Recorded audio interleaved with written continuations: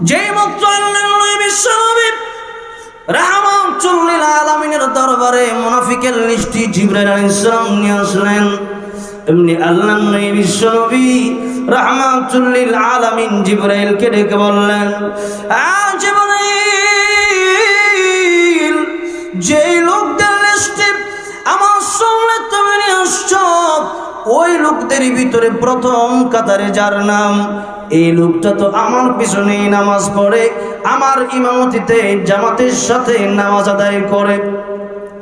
মাথায় লম্বা পাগড়ি আছে, গায়ে লম্বা জব্বা আছে। এই ব্যক্তিটা কীভাবে মুনাফিক হয়? জিবরাইল ডেকে বললেন, ইয়া রাসূলুল্লাহ, ইয়া হাবিবাল্লাহ, ওগো নবীজি এই লোকটা লম্বা জুব্বা পড়তে পারে, লম্বা পাগড়ি পড়তে পারে, লেবাস বহু সুন্দর হইতে পারে, কিন্তু তার অন্তরের ভিতরে মোনাফেকি আছে। ওই রকম লোক লম্বা জুব্বা পরে মঞ্চে আসে, কোরআনের মঞ্চে আসলে দেখবেন বলে, আমি ইসলাম তোমাদের সাথে আছি। আবার দুর্গা পূজায় গিয়ে সেখানেও বলে, আমি তোমাদের সাথেও আছি। এরকম লোক আছে না নাই? অন্তরে মুনাফিকে থাকলে লেবাস ওয়াজের আসলে জুব্বা পরে আসে। আবার যখন মন্দিরে যাওয়া লাগে, তখন তাদের লেবাস পরে যায়। ওই যে মুনাফিক, আল্লাহ বিশ্ব নবী রহমাতুল্লিল আলমীর পিছনে নামাজ পড়তো, কিন্তু তার অন্তরে ছিল মুনাফিকি যে মাত্র আল্লাহ বিশ্ব সাবিরা যুদ্ধের ময়দানে যাওয়া লাগবে। ইসলামকে প্রতিষ্ঠার জন্য তোমাদের তাজা তাজা রক্ত রক্তগুলো ঢেলে দেওয়া লাগবে। যেমন আল্লাহ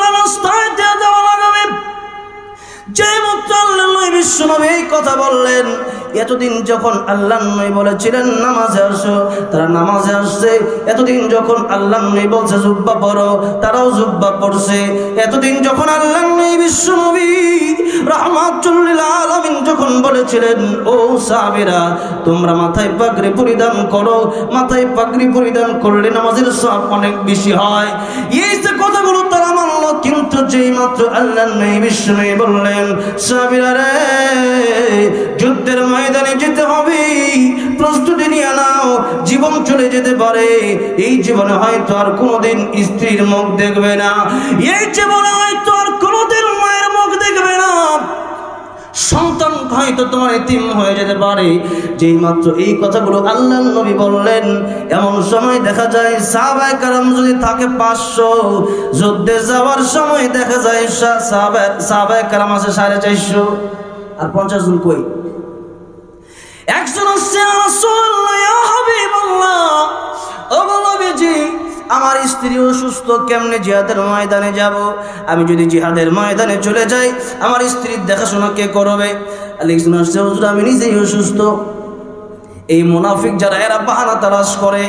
যখন ইসলামের জন্য ডাক দেওয়া হয়, যখনই ওয়াজ মাহফিলের দিকে ডাক দেওয়া হয়, যখনই মাদ্রাসার যখন ইসলামী আন্দোলনের দিকে আসতে বলা হয়, দিন কায়েমের জন্য যখন আসতে বলা হয়, তখন দেখবেন তাদেরকে হারিকেন দিয়ে খুঁজেও পাওয়া যায় না। সেই মুনাফিকি খবর এখনও আছে।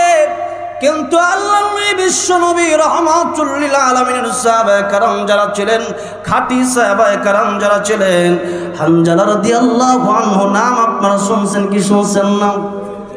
আল্লাহর ফেরেশতারা যাকে গোসল করিয়েছেন। কথা পৌঁছে শহীদ হয়ে গেছে। তার স্ত্রীকে ডেকে বলে রে তোর ভাইটা আমার হাতে দাও, আমি চলে যাব তোমার এই জায়গা থেকে। এই বাসর ঘরে আমি আর থাকব না। জিহাদের ময়দানে চলে যাব হয়তো কোনোদিন দেখা হবে না। দেখা হবে আসরের ময়দানে। ও স্ত্রী বিদায় দাও, আমি তোমার কাছ থেকে এখন বিদায় নেব। স্ত্রী বিদায় দিয়ে দিলেন, কিন্তু হামজারা দিয়ে আল্লাহ নবীর প্রেমে দুটাই পাগল পড়া ছিল। হামজারা দিয়ে আল্লাহ নবীর প্রেমে ছুটে গেলেন জিহাদের ময়দানে। জিহাদ করতে করতে হামজারা দিয়ে আল্লাহ অনেক সময় শহীদ হয়ে গেল। নবীজি সাহাবা কালাম রাদিয়াল্লাহু আনহু মাজমাইনদের লাশগুলো দাফন করবে কারণ যারা শহীদ হয়েছে আল্লাহ রাব্বুল আলামিন বলেছেন ওয়ালা তাকুলু ولا تقولوا لمن يقتل في سبيل الله أموات بل أحياء ولكن لا تشعرون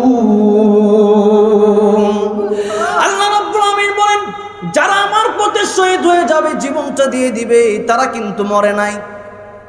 শহীদরা কোনোদিন মরে যায় না। কেবলমাত্র ইন্তেকাল করে, কেবলমাত্র দুনিয়া ছেড়ে পরকালে জান্নাতের দিকে পা দিয়ে দেয়, তাদের ইন্তেকাল হয় না। মরতে দেরি হয়।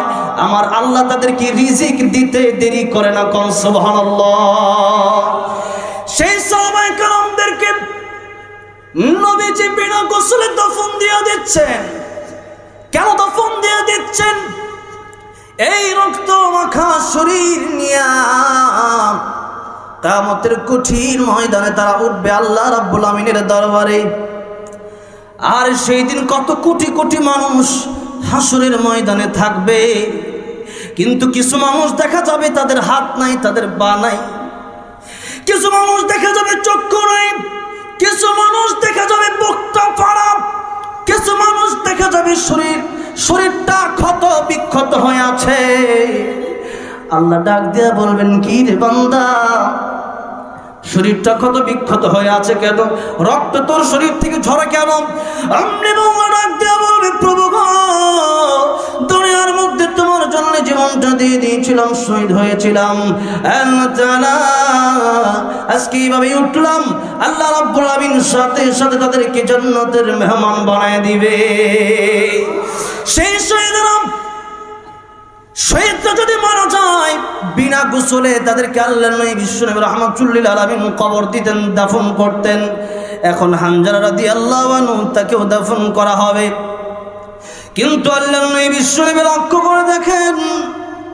দূর থেকে একজন মহিলা এসে ডাক দিয়ে বলতেছে, ইয়া রাসূলুল্লাহ, ইয়া হাবিবাল্লাহ, ওগো নবীজি, আপনার কাছে এসেছি, শুনেছি আমার স্বামী হামজালা নাকি শহীদ হয়ে গেছে।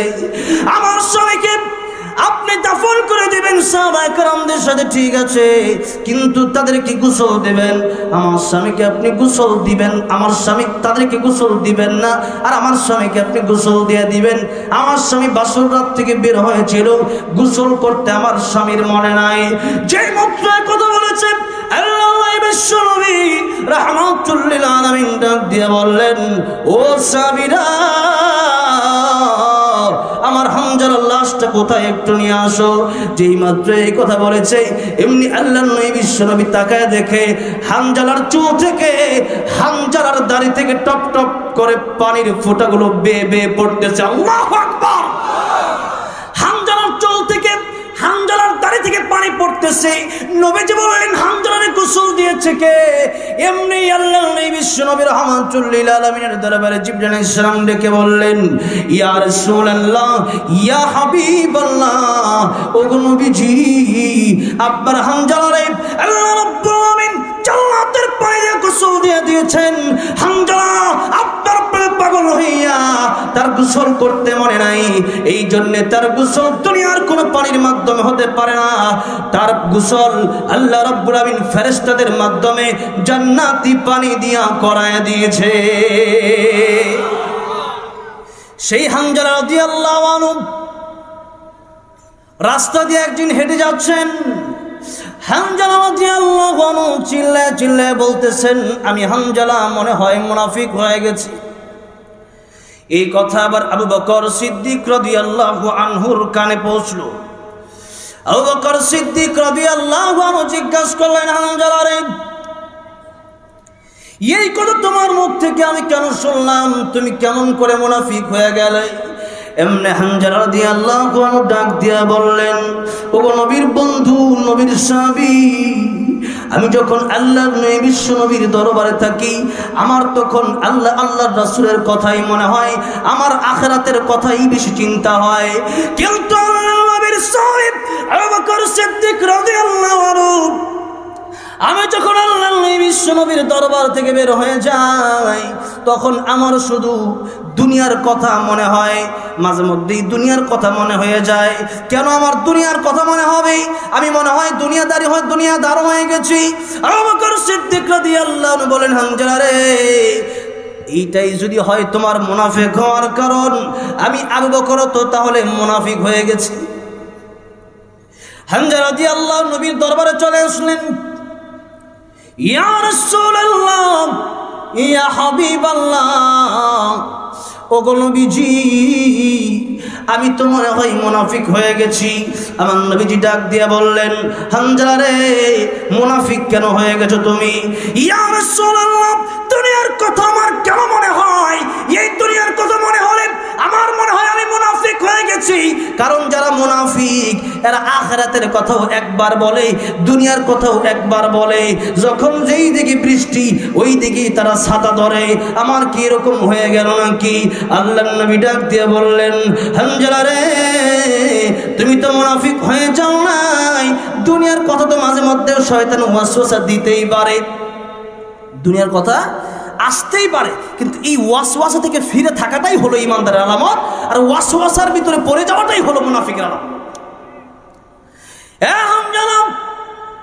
মুনাফিক তো তারা, যারা দিনকে অস্বীকার করে, ইউকাদ্দিবু বিদ্দিন, যারা দিনকে অস্বীকার করে যারা আল্লাহকে মানে না, মুখে মুখে বলে একটা, আর অন্তরে থাকে তাদের আরেকটা।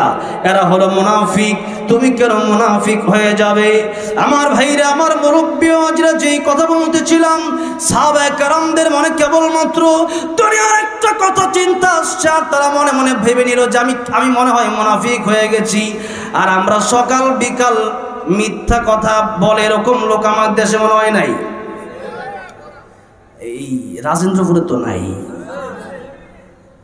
এই রাজেন্দ্রপুরেও আছে, সব জায়গায় আছে, গাজীপুরেও আছে, ঢাকায়ও আছে, পুরা বাংলাদেশে আছে। এমনকি বাংলাদেশের মানুষ গিবত গাওয়ার জন্য তারা এক নাম্বার পণ্ডিত। চিল্লা বলেন ঠিক কিনা? এই বাংলাদেশের মানুষ, খবর একটা সত্য না মিথ্যা, এটা জানবে না। যে কোনো খবর হোক, এটা সত্য না মিথ্যা, এটা জানবে না। ফেসবুকে একটা পাইছে। হ্যাঁ এটা কপি করে এটা পেস্ট করে ফেসবুকে ছাড়ছে ঠিক কিনা? এই হলো বাংলাদেশের স্বভাব। আপনি যে গিবত বললেন গিবত যে করছেন, আরেকজনের বিরুদ্ধে, এখন লাভ টাকা রয়েছে, আপনার লাভ হয়েছে। আপনি এক মিনিটের মজা পাইছেন আর কি, গিবত করলে তো খুব মজা। কিছু মানুষ আছে, এরা ভাত না খাইলে থাকতে পারবে, কিন্তু গিবত না করে থাকতে সকাল, বিকাল চার দানা বলি এই হুন চোস রে ফোলাটা হ্যাঁ কাম করে লাইছে একটা এর মায়াটা যে গেছে গা বাইক গেল হুন চোস নেইটা এরকম লোক নাই চার দোকানে বলে গিবতের আড্ডা أيحب أحدكم أن يأكل لحم أخيه ميتا فكرهتموه আল্লাহ বলেন ও দুনিয়ার মানুষেরা তোমরা কি চাও একজন আরেকজনের তোমরা তোমাদের মৃত ভাইয়ের গোষ্ঠ তোমরা বক্ষণ করতে এটা কি তোমরা পছন্দ করো কিনা? কেউ পছন্দ করেন? মৃত মানুষের কাঁচা গোস্ত কেউ খাবে? কেউ পছন্দ করে না। নবীজি বলেছেন, কারও ব্যাপারে যদি আপনি কি বোধ করেন, আপনার সব আমল তার কাছে চলে যাবে, তার সব গুণা আপনার কাছে চলে আসবে। জিনা করল কেমতের ময়দানে একটা ব্যাপার বলে রাখি কামতের কঠিন ময়দান, দেখবেন একটা লোক খুব খারাপ। এ দেখবেন জান্নাত যায়। মিজানের পাল্লা তো একটা আছে না নাই? আছে। মিজানের পাল্লায় যখন ওজন করা হবে, এখন আপনার যদি ন্যাক আমল বেশি হয়, তাহলে আপনি যাবেন কোথায়? জান্নাত। আর যদি বদ আমল বেশি হয়, তাহলে যাবেন কোথায়? জাহান নামে এখন এক লোক আপনারা দেখছেন খুব খারাপ, এখন খারাপ যে এর জন্য আপনি চিন্তা করলেন কিরে এই লোকটা তো খারাপ ছিল, কিন্তু তার তো ন্যাক আমল বেশি। আপনি যে নামাজ পাঁচ তো পড়ছেন, কিন্তু নামাজের পর পরই আবার গিবোধ করছেন। মসজিদে বই মসজিদে বই গিবোধ করছেন। এই জন্য আপনি কেমতের মধ্যে উঠে দেখবেন আপনার আমল নামায় বদ আমল ছাড়া কিচ্ছু নাই। কারণ ওই যে জিনা করছে সে, অথবা যে কোনো গুণা করছে, মদ খাইছে, গাঁজা খাইছে, বিড়ি খাইছে যেটাই করুক না কেন, এর ব্যাপারে যে আপনার একজনের কাছে তার অগোচরে বললেন, সামনে বললে গিবত হবে না, কিন্তু তার অগোচরে বললেই গিবত হবে। সাহাবা একরাম বলেন ইয়া রাসূলুল্লাহ, সে সত্যি একটা দুষ করছে। এটাই যদি আমি বলি, রাসূল বলেন, এটাই তো গিবত, এটাই তো গিবত। সে একটা গুণা করছে, এটা তুমি তার অগোচরে আরেকজনের কাছে বললা, এটাই তো গিবত। হুজুর, তাইলে একজন করে না, এটা যদি বলি, তাহলে কি তাহলে ডাবল গোনা তাহলে কি গোনা তাহলে আর তাহলে তার গিবত বললেন, মিথ্যা কথাও বললেন, তোহমত দিলেন। তো এই জন্যে এই গিবত যারা করতেছেন, বিশেষ করে আমাদের বাঙালি মানুষ, গিবত গাওয়ার জন্য পণ্ডিত, সবসময় সকাল সন্ধ্যা গিবত করতেছেন, আর যা ইবাদত করতেছেন, সব তারা মোল্লামায় চলে যাচ্ছে। এই জন্য কেয়ামতের ময়দানে এই লোক জেরাকার হয়ে, এই লোক বাদকুর হয়ে, এই লোক একজন খারাপ মানুষ হওয়ার পরেও এই লোকটা জান্নাতে চলে যাবে। আর আপনি তার গুনার বাঘ হয়ে আপনি জাহান্নামে যাবেন। তাহলে গিবত কো- কি সারার দরকার আছে না নাই? সেরকম আছে না নাই আল্লাহ সারার তৌফিক দেখ করেন আমিন। আর মাত্র দশ মিনিট। এবার আসুন যে কথা বলতেছিলাম এই যে আমরা আমাদের ভিতরে যে কাজগুলো ঢুকেছে সকাল সন্ধ্যা মিথ্যা কথা গিবত বলা এরপরে আমানতের খেয়ানত করা এই কাজগুলো হচ্ছে মুনাফিকের আলামত। যেরকম কার আলামত? মুনাফিকের আলামত। ওয়াদা করা, ওয়াদার খেলাফ করা। আমানতের খেয়ানত করা, কথায় কথায় মিথ্যা কথা বলা এগুলা মুনাফিকের আলামত। আল্লাহ বিশ্ব নবী স্পষ্ট বলেছেন, মুনাফিকের আলামত। এখন মুনাফিকের এই আলামতগুলো আমাদের ভিতরে আছে না নাই? কামতের কঠিন ময়দানে যদি আল্লাহ যদি আমাদেরকে সূক্ষ্মভাবে যদি বিচার করেন, তাহলে বাঁচার মতো কোনো উপায় আমাদের থাকবে নাকি? আমাদের থাকবে না। সৌরাতুল মাউন। এই সূরাটা কার কার মুখস্থ আছে দেখি? মাশাল হাত নামান অল্প কিছু লোকের মুখস্থ নাই, বাকি সবারই মুখস্থ আছে। কারণ মসজিদে ইমাম সাহেব নামাজ পড়লে মাঝে মধ্যে মাগরিবের নামাজের সময় এই সুরা তেলাওয়াত করে। আপনারাও কিছু সুরা শিখেছেন, কোরআন শরীফের কিছু আয়াত শিখেছেন, কখন শিখেছেন এটা মনেও নাই। এরকম কিছু সুরার ভিতরে এই একটা সূরা। যেরকম সূরা ফাতিহা আছে, সূরা ইখলাস আছে হ্যাঁ? সূরা নাস আছে, সূরা ফিল আছে। তো এই সূরাগুলো আমরা কখন শিখেছি এটা নিজেরাও জানি না। বাবা পড়ছে, মা পড়ছে, উস্তাদ পড়ছে, ইমাম সাহেব হুজুর পড়ছে, নামাজে দাঁড়াইছিলাম ছোটোবেলায়, ওই সময় যে শুনছিলাম, ওই শোনার কারণে কোন দিন মুখস্থ হয়েছে এটা ভালো করে অনেকেও বলতেও পারব না, কথা বলেন ঠিক না বেঠিক তো এত পরিচিত একটা সুরা। তো এখন আমি মনে করেন এই সুরা থেকেই আলোচনা করব, এই সুরা থেকেই আমি কথা বলব। এক একটা আয়াত নিয়ে কথা বলতে গেলে লম্বা সময় আলোচনা করা লাগবে। এখন লম্বা সময় না, মোটামুটি বারোটা পর্যন্ত বসবেন তো ইনশাআল্লাহ। জোরে বলি ইনশাআল্লাহ।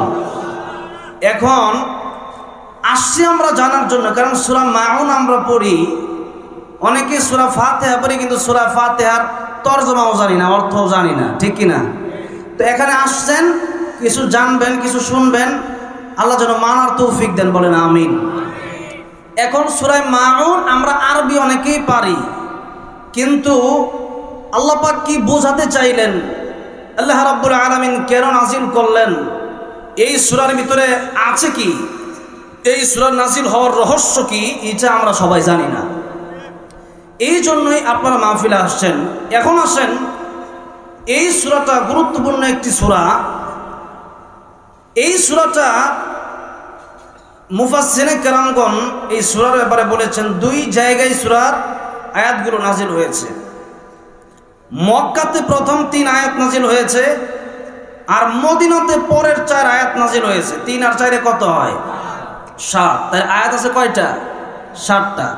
এই সাতটা আয়াতের প্রথম তিনটা আয়াত মক্কা নগরীতে নাজিল হয়েছে। আর চারটা আয়াত মদিনাতে নাজিল হয়েছে। এই তিনটা আয়াত নাজিল, প্রথম তিনটা আয়াত নাজিল হয়েছে কাফেরদের ব্যাপারে। পরের চারটা আয়াত নাজিল হয়েছে মোনাফিকদের ব্যাপারে। বলেন তো, কাফের কাফের সমস্যা বেশি না মোনাফিকের সমস্যা বেশি? এই সমাজে যত ফিতনা, যত যন্ত্রণা, যত বেদনা, যত সমস্যা সব সমস্যাগুলোর মূলে কাফের বেইমান না মুনাফিক? মুনাফিক। আল্লাহ নবী বিশ্বনবী রহমাতুল্লিল আলমী উনিও নামাজ পড়তেন নামাজে যখন দাঁড়ায় গেছে ওনার পিছনে মুসল্লিও নামাজে দাঁড়ায় গেছে। তে নবীজির যেই যারা ইমান আনছে এরা কি ছিলেন? সাহাবা ছিলেন। কি ছিলেন? সাহাবা ছিলেন। তো এখন সাহাবা একরামরা রাসূলুল্লাহ সাল্লাল্লাহু আলাইহি সাল্লামের পিছনে নামাজ পড়ে জিব্রাইল আলাইহিস একদিন নবীর কাছে মুনাফিকের লিস্ট নিয়ে আসছে। তো মুনাফিকের লিস্টে যখন আল্লাহ নবী বিশ্বনবী রাহমাতুল্লিল আলমের কাছে নিয়ে আসছে, প্রথমেই দেখে ওই লোকের নাম যে লোকের দাঁড়িয়ে আছে বড় বড়। যে লোকে ফাঁকরিও বিন্দে যে লোকের বড় জুব্বাও আছে। এই যে জুব্বা, এটা আমি সৌদি আরব থেকে লইছি। তো এখন আমি সৌদি গিয়া দেখি জুব্বা পিনছে, নিচে লঙ্গিও নাই, পাইজামাও নাই। কি আছে বইটা নিয়েন বুঝছেন তো? আবার সৌদি যাওয়ার পরে এক মসজিদে ঢুকলাম নামাজ পড়ার জন্য। অনেক হাজির সাহেবরা সেই মসজিদে যাচ্ছে। তো একজন আমার বলল, আসে, নামাজ পড়ি। তো নামাজ যে পড়ব, উনি সৌদি আরবের লোক। ওনার জুব্বা হইল টাক নিচে একবারে জুব্বা দিয়া ঝাড়ু দিতেছে সব। জুব্বাতে ঝাড়ু দিয়ে নামাজ জুব্বা ফিন সৌদি আরব জুব্বা কিনা লই এলে হাজি সাহেব দেখবেন, জুব্বা ফার নিচে যাবে। তো এরকম জুব্বা পড়, পড়া এক ব্যক্তি, আমার বলতেছে যে, চলেন নামাজ পড়ি। তো আমি বললাম, চলেন পড়ি। তো আমি ভাবলাম, ইমামতে আমি করব কারণ এর দিয়ে এর পিছনে নামাজ পড়ব না। দাঁড়িয়েও নাই, আবার জুব্বাও টাকনুম নিছে। সৌদি আরবের কইলে কি হবে? এ যদি জান্নাতে পলায়ও আসে, যদি তার ভিতরে সুন্নত না থাকে, যদি ওয়াজিব সে তরক করে টাকনুর নিচে কাপড় পরলেই গুণা ঠিক কিনা? কিন্তু আমরা পড়ি কিনা? পড়ি। কেন করি একটু ভাব ধরা লইয়া ঠিক কিনা? টাকানো উপরে মিললে জানি কেমন কেমন লাগে মনে হয়। এই দলের লোক বোঝা যায়, কথা কোন ঠিক কিনা? এই জন্য ওই লোকে বলতেছে, নামাজ পড়েন। হ্যাঁ? আমার বলতেছে, একামত দেওয়ার জন্য। তো একামত দেওয়ার পরে উনি ইমতিতে দাঁড়ায় গেল, নামাজ শুরু করে দিল। আমি আসতে করে তার পিছর থেকে গেলাম কারণ এর পিছে নামাজ পড়ব কেমনে? এরকম একটা ফাঁসে ওপেনলি ফাঁসে সৌদি আরবের কি মক্কা করে সামনে থাকলেও তার পিছনে নামাজ পড়ব না আমি। কথা ঠিক না ঠিক তো এরকম জুব্বা পড়লে শুধু বড় ইমানদার হওয়া যায় না। বড় বড় পাগড়ি পড়লেই বড় বড় ইমানদার হওয়া যায় না। বড় বড় দাড়ি থাকলেই বড় বড় ইমানদার হওয়া যায় না। আরে আমার আপনারা বড় বড় জুব্বা পড়তে দেখছেন। একবারে বাতের আতঙ্ক কইয়া উড়াই দিছে। আসলে আমি কতটা পাপি? আমি কতটা খারাপ? এটা তো আমি জানি, ঠিক কিনা বলেন? আপনি কতটা খারাপ, এটা তো আপনি ভালো করে জানেন। এই জন্য আমাদের সমস্যা হইল, এখন আমরা কে কি করল, অন্যজনের চিন্তা নিয়ে আমরা বেশি ব্যস্ত, নিজের চিন্তা আমরা করি না। খাই নিজেরটা, চিন্তা করি আরেকজনের। জোরে কোন ঠিক কিনা? লম্বা জব্বা পড়লে যারা জুব্বার নিচে যারা পায়জামা পরে না জুব্বার নিচে যারা লুঙ্গি পরে না, এরাই বড় হুজুর থাকতো। লম্বা দাড়ি হইলে যদি বড় ইমানদার হওয়া যেত, তাহলে রবীন্দ্রনাথ ঠাকুরের মতো বড় হুজুর কেউ আসেন না। কি বলেন আপনারা? দাড়ি যে লম্বা দাড়ি আর মোছেরা মুড়ি খাইলে কেমনে খাইছে মুড়ি, আল্লাহ জানে। মুড়ি খাওয়ার সময় বাচ্চা কেমনে মুস আঙ্গে মুড়ি খাওয়া লাগছে। ঠিক কি না? দাড়ি আর মুসে একবার বিরাট বড় দাড়ি। তাহলে এত বড় দাড়ি হইলেই কিন্তু বড় আবার যে এর মানে যে দাড়ি কাটুন বিষয়টা কিন্তু এরকম বলতেছি না আমি। দাড়ি হইলেই যে সব ঠিক বিষয়টা কিন্তু এরকম নয়। আবার বড় বড় পাগড়িও কিন্তু দেখবেন নরেন্দ্র মোদীর মতো লোকেও পাগড়ি পরে। পরে না? পরে। কিন্তু এই পাগড়ি কি আমাদের পাগড়ি? আরে মুনাফিক নামাজ পড়ে জোরের নামাজ পড়ে, আসরের নামাজ পড়ে, মাগরিব পড়ে আসা পড়ে, কিন্তু ফজর পড়ে না। এখন আপনাদেরকে জিজ্ঞেস করি, এখানে যে লোকগুলো আছেন, আপনারা এই মুহূর্তে মানুষ বেশি না ফজরের সময় মানুষ বেশি হয়? হ্যাঁ এই মুহূর্তে বেশি, ফজরের সময় লোক নাই। এই যে শালনায়ক মসজিদে, ইমাম সাহেব এই জায়গাতে আছে। মুসল্লি, মাহফিলের দিন থেকে লোক অভাব নাই, কিন্তু মসজিদে নামাজ পড়তে গেছে ইমাম সাহেব ছাড়া আর কেউ নাই চিন্তা করেন এই জন্য লেবাসে কি আসলে ইমানদার হওয়া যায় নাকি অন্তরের ভিতরে আসলে ইমানদারি তো থাকা লাগবে কোথায় থাকা লাগবে অন্তরে থাকা লাগবে আর তাকওয়া হা না এই কথাগুলো কেন বললাম আল্লাহ রাব্বুল আলামিন বলতেছেন ফাওয়াইলুল লিল মুসাল্লিন الذين هم عن صلاتهم ساهون الذين هم يراءون ويمنعون الماعون এই সূরাতে এই সূরার নামটা কি সূরার নামটা কি মাউন মাউন অর্থ কি মাউন অর্থ হচ্ছে এমন ব্যবহারকৃত জিনিস যেই জিনিসগুলো নিত্য প্রয়োজনীয় জিনিস অর্থাৎ মনে করেন খাবারের বাটি প্লেট গ্লাস চাকু হ্যাঁ দাও কোদাল সাপ সাফল আরও যা আছে, এক, একটা পরিবারের চলতে মোটামুটি যা কিছুর প্রয়োজন। এখন একজনের বাসায় মেহমান আসছে ছয়জন, তার বাসায় প্লেট আছে পাঁচটা। তো এখন ছয়জনকে খাবার দেওয়ার মতো ছয়টা প্লেট তার কাছে নাই। পাশের বাসা, আগে তো আমরা দেখতাম আমাদের দাদিরা মাঝে মধ্যে বাসায় গেছি। তো বাসায় যাওয়ার পরে আরেক বাড়ি থেকে এক প্লেট ভাত ঋণ করে আনতো, হাওলাত করে ভাত আনতো, এরপরে খাইতাম।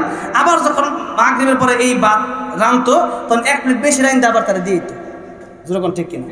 আবার চাইল দিত ডাইল দিত। আগে একসময় ছিল কিনা? আমি তো কম জানি, মুরব্বীরা বেশি জানেন। একসময় চাইল দিত, ডাইল নিত। আমি দিলাম তোমার এক কেজি তেল, তুমি আমার দুই কেজি আলু দাও। কথাটা বোঝেন নেই? এরকম ছিল এক সময়। তো এখন মনে করেন নিত্য প্রয়োজন প্রয়োজনীয় জিনিস, আপনার ঘরে মেহমান আসছে পাঁচজন। কারণ আপনার একজনের কাছে চাইলেন যে বা ছয়জন। তা আপনি চাইলেন যে, ভাই, আমার ঘরে পাঁচটা প্লেট প্লেট দাও একটু। তার মেহমান আসছে, ছয়জন মেহমানের খাবার দিতে, আরেকটা প্লেট আমার দরকার। সে বলল, কিসের প্লেট দিব তোমারে আমি? হ্যাঁ? তুমি আমার কি উপকার করো? আরে, উপকার আপনি মানুষের কাছে আশা করবেন কেন? আর, আপনি প্রতিদান মানুষের কাছে আশা করবেন কেন? সবচেয়ে বেশি, সবচেয়ে বড়, সবচেয়ে সুন্দর, উত্তম প্রতিদান কে দিবেন? কে দিবেন? এই জন্য মমিন ভাইয়ের আচরণ কেমন হবে আল্লাহ বোঝাই দিচ্ছেন ওয়াম নাউন আল মাউন মুনাফিকদের আচরণ হচ্ছে এটা যে একটা প্রতিবেশী তার কাছে একটা জিনিস চাইলো, ভাই, আমার একটা প্লেট দরকার, একটু দাও তো।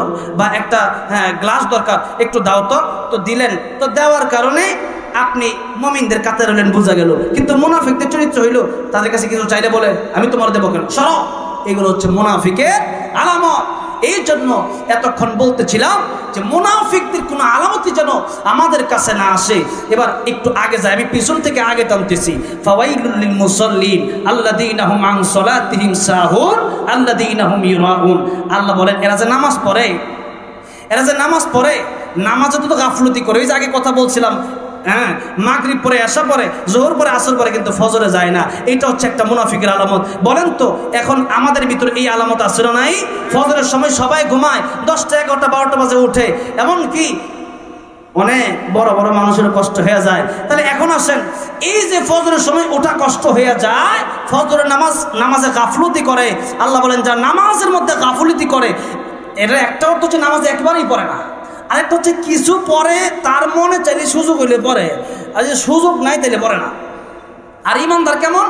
নামাজের সময় হয়ে গেছে, গাড়িতে আছে, গাড়ি অফ হয়ে যাবে, যা কিছু হক হবে, ঠিক কিনা? নামাজের সময় হয়ে গেছে হ্যাঁ? খাবার আসছে সামনে না, আগে নামাজটা পড়ে নেই। গতকালকে প্রোগ্রাম ছিল সাতক্ষীরা আমার বলতে হুজুর, তাড়াতাড়ি খাই, আওয়াজ করে আপনার নামাজ পড়বে সেই সাতক্ষীরা গেছি, অনেক কষ্ট হয়ে গেছে, সেখান থেকে আইসা কোনো ঘুমাইতে পারি না আবার আসছে এখানে। তো সেখানে একবার ইন্ডিয়ার বড়া তো আমার বলল হজুর এমনি দেরি করে ভালাইছেন তো এখন এক কাজ করুন আগে খাইয়া আওয়াজটা করে পরে নামাজ পড়ে না কই মিয়া নামাজ আগে আপনি কি রস করেন? নামাজ আগে পড়ব দরকার বলে খামো না নামাজ পড়ে রস করি। পরে পেলাম আমি তো মুসাফির মানুষ আমার লাগে চার রাখাত নামাজ জায়গাতে আমি দুই রাখাত পড়ব। আচ্ছা ঠিক আছে তাহলে বইটা নেন। দেখেন এই যদি হয় অবস্থা মাহফিল কমিটি যদি এই কথা বলে হুজুর তাড়াতাড়ি খায় নামাজটা পড়ে নেন আর তাড়াতাড়ি খায় আওয়াজটা করে দেন পরে নামাজ পড়েন। আহ, এই কথা যদি তাদের মধ্যে হয়ে যায়, এই কমিটি কথা কই না কোন কমিটি কথা বুঝছ তো? এরকম কিন্তু এক জায়গায় হয় না, এরকম বহু জায়গায় হয়। হুজুর তাড়াতাড়ি করে নামাজ পড়ে বইলেন। এটা কেমন কথা? নামাজ পড়তে পাঁচ মিনিট লাগে, এক ঘণ্টা লেট করা যায়, আর এনে পাঁচ মিনিট লেট করতে পারে না। এই জন্য নামাজের সময় যখন হয়ে গেছে, দেরি করা যাবে না। নামাজের টাইম হয়েছে দেরি করা যাবে না। তিন কাজে দেরি করা যাবে না। নামাজের টাইম হইছে, দেরি করা যাবে না। জানাজার মুর্দার লাশ সামনে আসছে হ্যাঁ? তাড়াতাড়ি জানাজা করাই ভালো। কিন্তু আমরা করে কি? দুই দিন, তিন দিন মতো লাশ রাইখা দেয়, কথা ঠিক কিনা?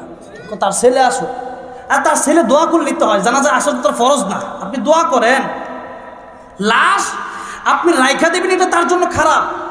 কারণ আল্লাহ বলা মানুষ যদি হয়, এরা আল্লাহর সাথে কখন দেখা করে, তারা পাগল হয়ে যায়, ঠিক কিনা বলে? আল্লাহর মেহমান যারা, আল্লাহর পাগল যারা, আল্লাহর প্রেমিক যারা, আশেক মাসুক তারা, আল্লাহর আল্লাহর সাথে যাদের প্রেম ঘটছে, যারা আল্লাহর প্রেমে পাগল হইছে, এরা তো চিন্তা করে, কখন আমি কবরে যাব, কখন আল্লাহর সাথে দেখা করব, কখন আল্লাহর সাথে মোলাকাত করব, ঠিক কিনা বলেন? এই হলো ইমানদারের অবস্থা। আর বেইমানের অবস্থা হলো, আহারে, কবরে আমার নিয়ে আসে। কবরে গেলেই তো গুরজুর বাড়ি শুরু কথা ঠিক না বেটি এই জন্য এইরকম চিন্তা নিয়ে মরবেন ঘুমানোর আগে আল্লাহরে খুশি করে ঘুমাইবেন গাড়িতে ওঠার আগে আল্লাহ আল্লাহরে খুশি করে গাড়ি তুলবেন কারণ গাড়িতে আপনার মৃত্যু হতে পারে। ঘুমায় আসেন মৃত্যু হয়ে যেতে পারে। কথা বলেন ঠিক কিনা? মরার কোনো বয়স নেই, যে কোনো সময় মরতে পারেন, ঘুমানোর সময় আল্লাহ খুশি করে ঘুমাবেন তৌবা করে ঘুমাবেন। তৌবা করবেন। তৌবা প্রতিনিয়ত জারি রাখা লাগবে। আপনি একশো বার গুণা করছেন, একশো বার তৌবা করেন না। আরে আমাদের কাছে একবার মাফ চাইলে মাফ করে দিই। দ্বিতীয়বার আবার চাইছে। কি মাফ করি না? একবার চাইছে। আরে বাপ মার সাথে যদি সন্তান বেয়াদবি করে, এই বাপে কি তাদের একবার, দুইবার, দশবার মাফ করে না? আরে বাপে যদি দশবার মাফ করতে পারে, আল্লাহ কি এক হাজার বার মাফ করতে পারে না? কেন আপনি আশা হারান যে গুণা করে এখন আমি গুণা করতেই থাকব আমি আল্লাহর কাছে ক্ষমা চাবো না। আমি তো গুণাগার কি তোবা করব? আর যে নামাজ পরে পড়তেই থাকে, কেন এমন হবে? আপনি সারাদিন গুণা করছেন।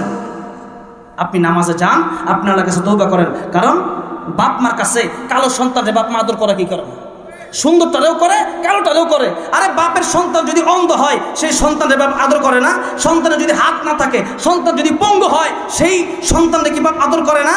কি কম বেশি করে, নাকি এক সমান করে? আরে বাপ মা এক সমান আদর করে, ছেলে পাঁচটা এক সমান আদর করে। এই যদি হয় বাপ মায়ের আচরণ, তাহলে আমার আল্লাহর আচরণ কে সুন্দর হয় না? হ্যাঁ? আমার আল্লাহর মায়া কে কম না বেশি? বেশি। তাহলে সেই জায়গার ভিতরে আপনি কেন তৌবা করেন না? আপনি কেন আল্লাহর পথে আসেন না? আপনি কেন ফিরে আসেন না? গুণা করছেন তো করছেন, যা আমার মাফ হইব না। আপনি জাহান নামে যাওয়ার লাগে একবার রেডি হয়ে গেছেন, কেন? আরে আপনি সারা জীবন সারা জীবন যদি, সারা জীবন যদি এক নারী কুকর্ম করে যদি একবার মৃত্যুর আগে তৌবা করে জান্নাতে যেতে পারে, আপনি যেতে পারবেন না? আরে মুরতার লাশের সাথে জিনা করেছে। সেই ব্যক্তি যদি তৌবা করার কারণে জান্নাতে যেতে পারে, আপনি পারবেন না? একশত লোক খুন করেছে তৌবা করেছে, আল্লাহ যদি জান্নাত দিতে পারে, আপনি কি চেয়ে বেশি গুণা করছেন? ছোট ছোট বাচ্চাদেরকে হত্যা করে জীবন্ত কবর দিয়েছে, সেই তাহিয়াতুল কলবে যদি আল্লাহ নবীর পরশ পাওয়ার পরে আল্লাহ রাব্বুল কাছে তওবা করার কারণে সেই লোক যদি জান্নাতি হয়ে যায়, সেই লোক যদি দামি হয়ে যায়, আপনি তওবা করার কারণে আপনি দামি হবেন না? আপনি হয়ে যাবেন। আরে মানুষ কি বলবে সেটা পরের কথা। আপনি সম্পর্ক আল্লাহর সাথে ভালো করেন, মনের শান্তি থাকবে। সম্পর্ক যদি আল্লাহর সাথে ভালো না থাকে, মানুষ উপর দিয়ে দাম দিলেও এই দামের কোনো শান্তি নেই, কথা বলেন ঠিক না হ্যাঁ আল্লাহর সাথে সম্পর্ক ভালো করেন। তার যদি আল্লাহর সাথে সম্পর্ক ভালো করেন। কাঁদেন, চোখের পানি ফেলেন, যাই নামাজে বসে যান। দুই ফুটা চোখের পানি ফেলবেন, সারাদিন ভালো যাবে। বিশ্বাস যদি না করেন, আপনি তাহার যদি নামাজ আজকে পড়বেন, আজকে আপনি কাঁদবেন, আজকে আপনি কেঁদে আল্লাহ আল্লাহ তুমি মাফ করে দাও। দেখবেন মনে হবে যে এই হৃদয় থেকে মনে হয় কয়েক টন ময়লা বের হয়ে গেছে। আপনি পড়েন না, আজকে তাহাজ পড়বেন ইনশাল্লাহ আজকে পড়েন পরে দেখেন আমার কথা সত্য না মিথ্যা। আপনি পরে দেখবেন, মনে হবে এই বুকটা হালকা হয়ে গেছে। এই বুকে মনে হয় অনেক কিছু, অনেক পাথর, অনেক লোহা মনে হয় জমা আছে। তৌবা করবেন, মনে হবে যে ভালো হয়ে গেছে। এই জন্য সম্পর্ক করতে হবে কার সাথে? সেরকম কার সাথে? আল্লাহর সাথে। কষ্ট হয়ে গেছে না? বারোটা বাজে, শেষ করে দিচ্ছি। এবার আসেন, বলতেছিলাম, তাহলে লোক দেখানোর আমল করা যাবে না আল্লাহর জন্য আমল করতে হবে? কাজ করতে হবে কার জন্যে? আল্লাহর জন্যে। এবার আসুন, আল্লাহ আমিন বললেন, ও দুনিয়ার মানুষেরা নামাজ যদি মানুষকে দেখানোর জন্য পড়ো, নামাজ যদি নির্বাচনের জন্য পড়ো, নামাজ যদি তুমি লোক দেখানোর জন্য পড়ো এইরকম লোকদেরকে আল্লাহ পাক বলেছেন মোনাফিক। এরা কি? মোনাফিক। এখন আসুন, আমি একবারে শুরুর দিকে চলে যাচ্ছি। এই আয়াতটা কখন নাজিল হলো, কেন নাজিল হলো, সেই কথা শোনার দরকার আছে না নাই? সেই কথা শোনার দরকার আছে না নাই? আছে, এটা বলে শেষ করে দিব, সাড়ে নজরুল আবু জাহেল লোকটা মনে হয় খুব ভালো। খুব খারাপ একটা লোক নাকি বলেন, ইসলামের চরম দুশ্মন আবু জাহেল। আবু জাহেল একটা বদ অভ্যাস, অনেক বদ অভ্যাস, একটা বদ অভ্যাস ছিল, আবু জাহেল কি করতো জানেন? আবু জাহেল ছোট্ট ছোট্ট বাচ্চা, তার গার্ডিয়ান নাই। এখন তার বাবারা যখন মারা যাবে, তখন তাদেরকে বলতো, এই সম্পদের দায়িত্বটা আমার হাতে দিয়ে দাও, তোমার সম্পদ নিরাপদে থাকবে, তোমার সন্তানের গার্ডিয়ান হয়ে যাব আমি। আচ্ছা একজন নেতা যদি এই কথা বলে, তোমার সন্তানের দেখাশোনা আমি করব, তা আপনি বলবেন, ঠিক আছে, করেন। কথা ঠিক কিনা? আবু জাহেল তো নেতা ছিল তৎকালীন সময়ে। আবু জাহেল বলল, তোমার সন্তানের দেখাশোনা আমি করব। তো লোক, ওই সময়ের লোকেরা এই সম্পদগুলো তার দায়িত্বে দিয়ে যেত। আবু জাহেল এই সম্পদগুলা রাখত। রাখার পরে এই এতিম সম্পদের মাল আবু জাহেল নিজে বক্ষণ করতো, এতিমদেরকে দিত না। এই হলো কাফের আলামত। এতিমের সঙ্গে আমার নবীজির দেখা হয়ে গেছে। নবীজির কাছে এতিম বিচার দিছে। ওগো নবীজি আর সুরাল্লাহ হাবিব আল্লাহ আবু জাহেলের কাছে আমার বাবা সম্পত্তি রেখে গেছে। আমার তো এখন সম্পত্তির দরকার, চাইছে আমার দেয় না। নবীজি সেই সন্তানকে নিয়ে আবু জাহেলের দরবারে চলে গেল। রে আবু জাহেল, কামতের কঠিন ময়দানে আল্লাহ রাব্বুল আমিনের সামনে তোমার দণ্ডায়মান হতে হবে। ও আবু জাহেল, সেই দিনকে ভয় করো। এই লোকের সম্পদ দিয়ে দাও ইয়েতিমকে ধাক্কা দিও না। আল্লাহ রাব্বুল আলামিন বলেন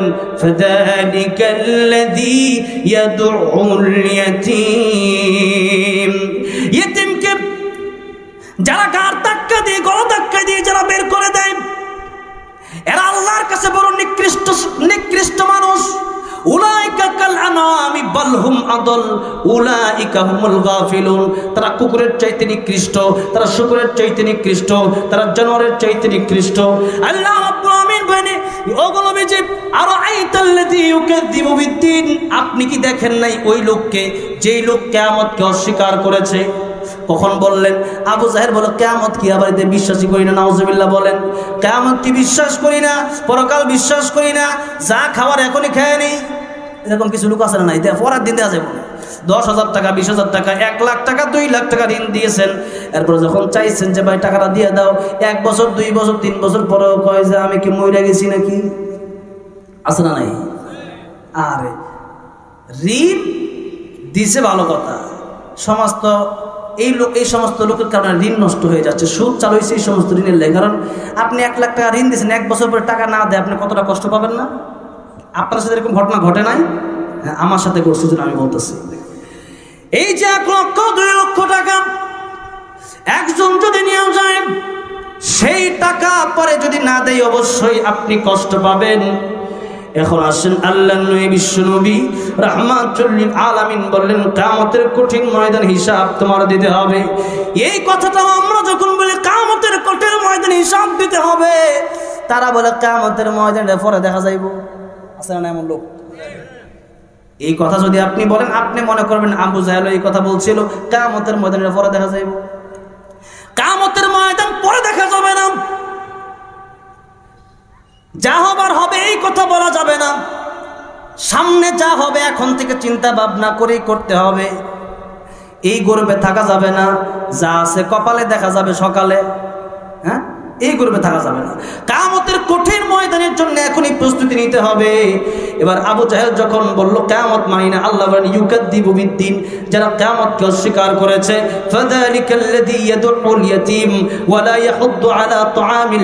ওই সময় আল্লাহ পাক এই আয়াতগুলো নাজিল করে বলে দিলেন। এই সমস্ত লোক বড় নিকৃষ্ট লোক। এই সমস্ত লোকের জন্য কামতের কঠিন ময়দানে আজাব রয়েছে। ইয়েতিম যারা তাদেরকে মাথায় হাত বুলাই দিবেন।